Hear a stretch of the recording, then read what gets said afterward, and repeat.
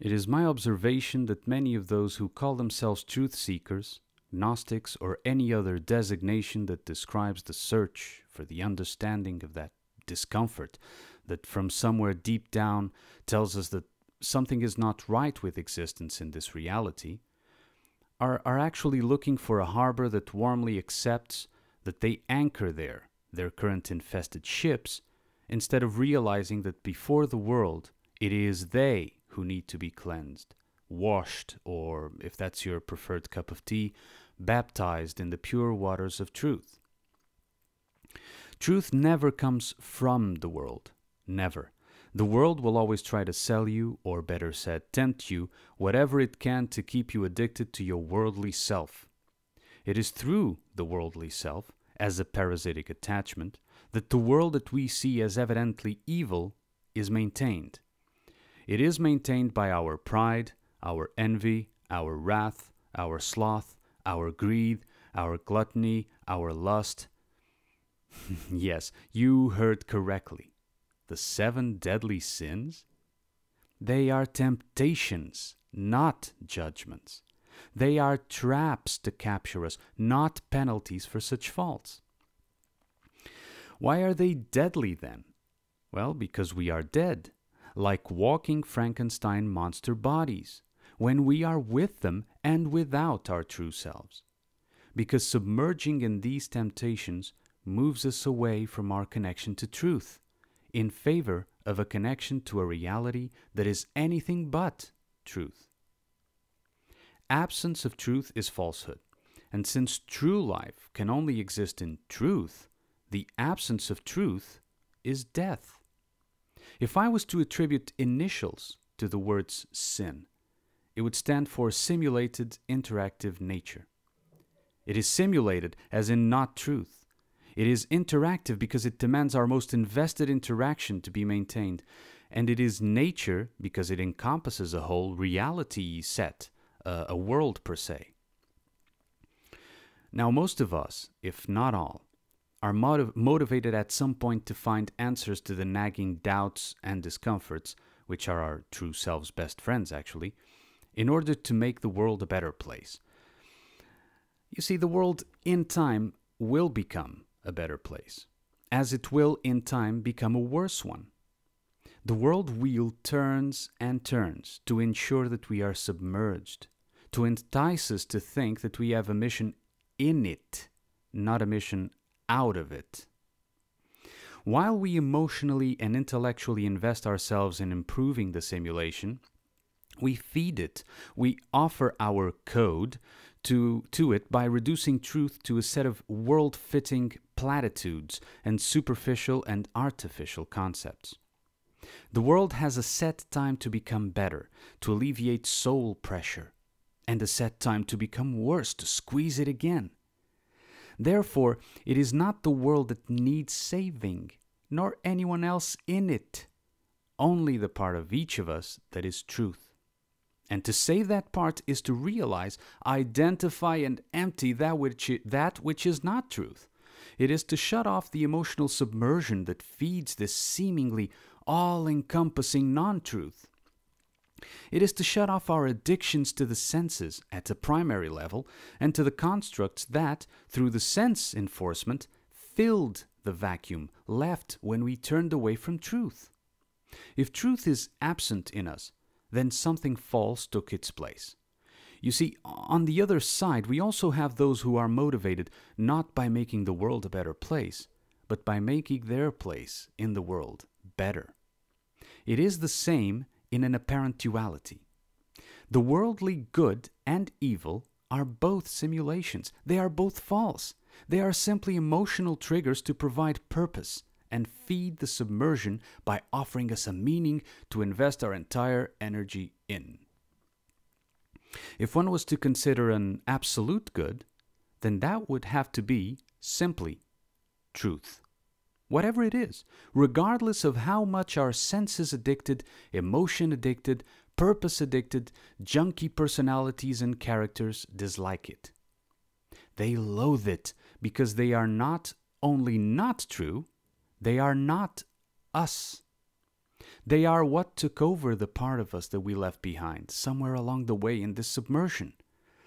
The junkie needs his drug, so he also needs the dealer, and the dealer lives in the mind of the junkie, talking to him as a master of his conscience.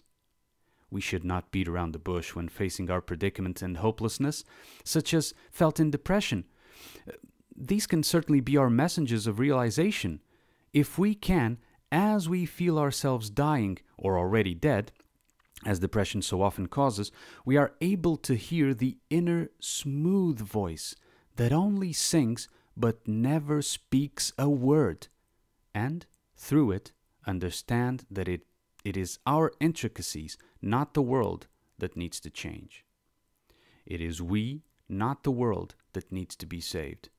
Not saved by simply switching energy and worship parasites in the world, but by creating that vacuum again through washing away the false from within so the truth can again gradually come back to take its rightful, rightful place.